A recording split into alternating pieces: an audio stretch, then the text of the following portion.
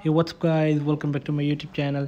So guys in this video i'm going to show you how to fix apple watch not pairing with iphone. So guys let's get started this video without wasting any time. So guys i have some simple solutions to fix your iphone issue uh, apple watch not pairing issue on your iphone.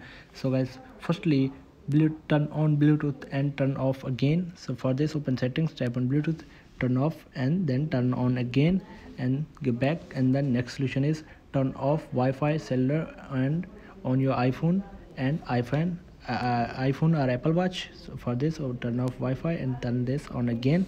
So and the next solution is restart your apple watch and your iphone. So after this uh, restart your iphone and apple watch. So for this drag the slider to the right to restart iphone and also restart your apple watch.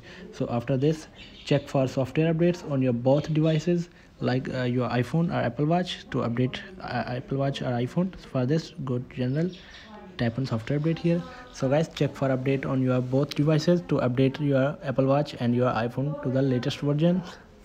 So after updating your both devices go back and the next solution is reset network settings on your iphone.